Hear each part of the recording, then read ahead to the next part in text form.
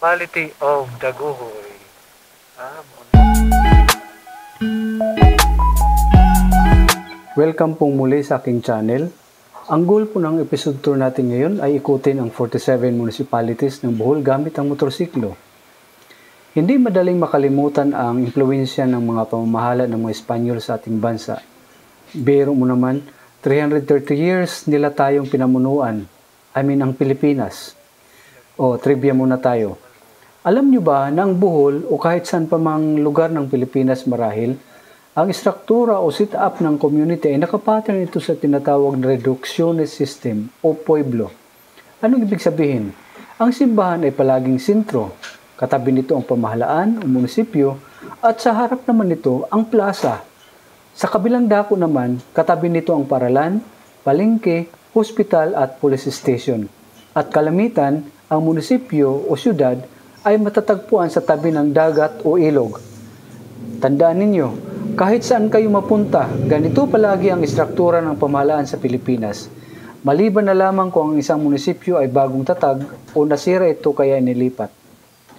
Ang Bohol ay isang first-class A province according to the Department of Finance.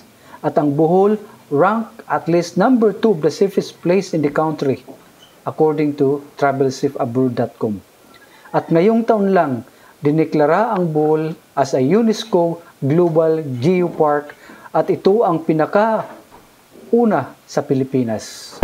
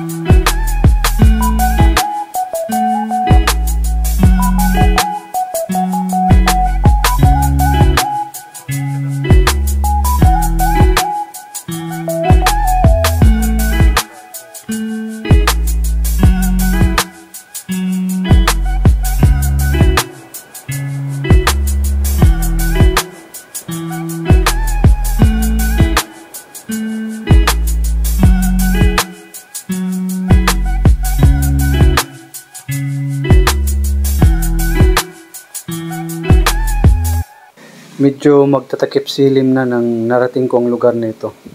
Nandito tayo ngayon sa municipality ng Daguhoy, Bohol. Ah, siyempre, sino ba namang hindi nakakilala kay Francisco Daguhoy na sa kasaysayan yan. Dati pa lang tawag sa lugar nito ay Kolonya.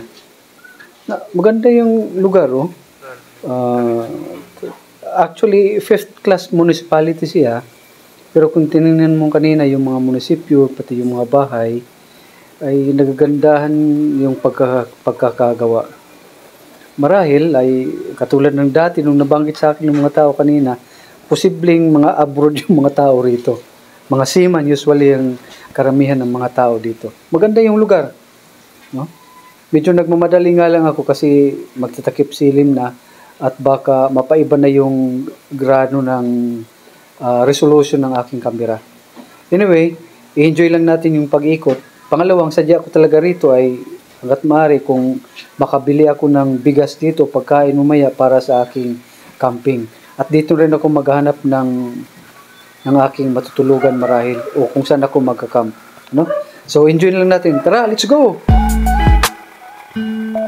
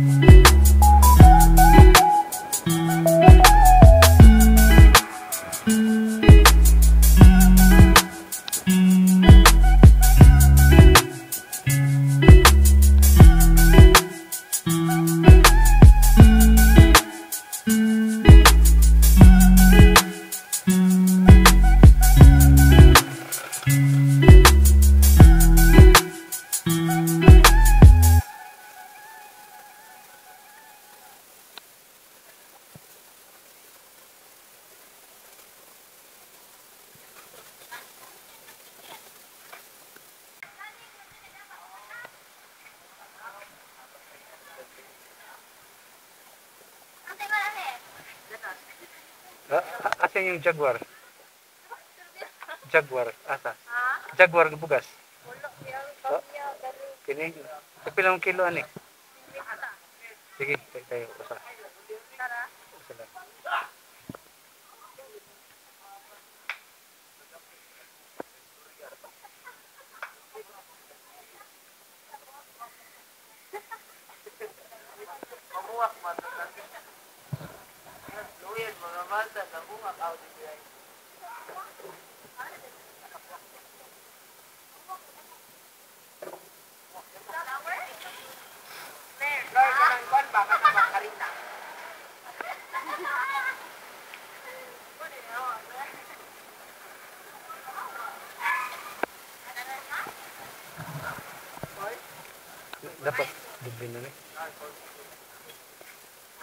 sopra.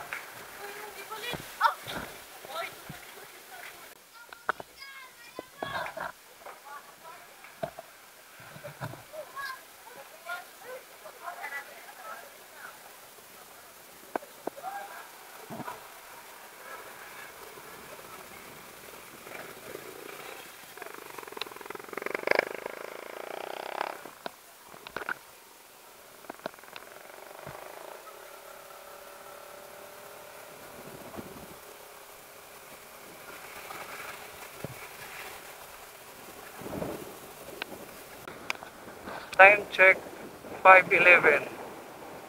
Siguro ko maghahanap na ako dito ng matutulugan. Dito na lang. Ah, hanap ako ng tubig. Mineral water. Mineral water.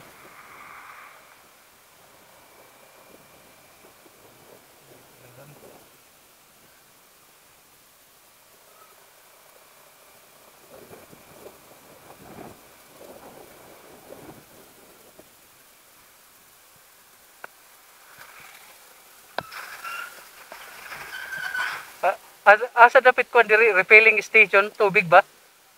Tubig re- refilling. To pa sa highway lang. Sa, na lang sa highway. Asa na sunod? Kay pangadton ta ko. Malisbog. Mga pila pa ka kilometer from here.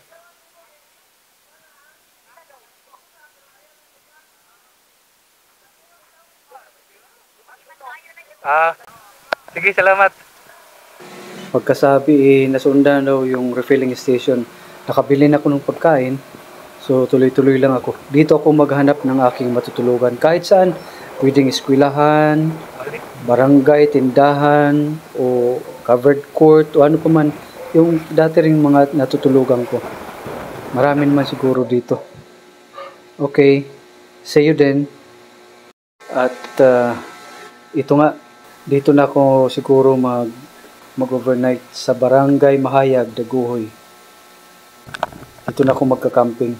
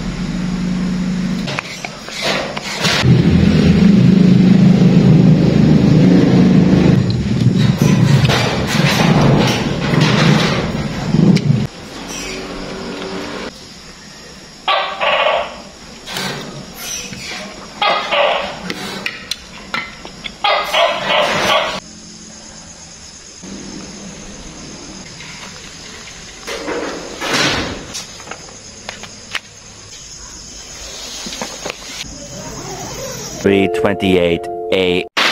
Patay. May malakas ulan na. Motor ko basa na.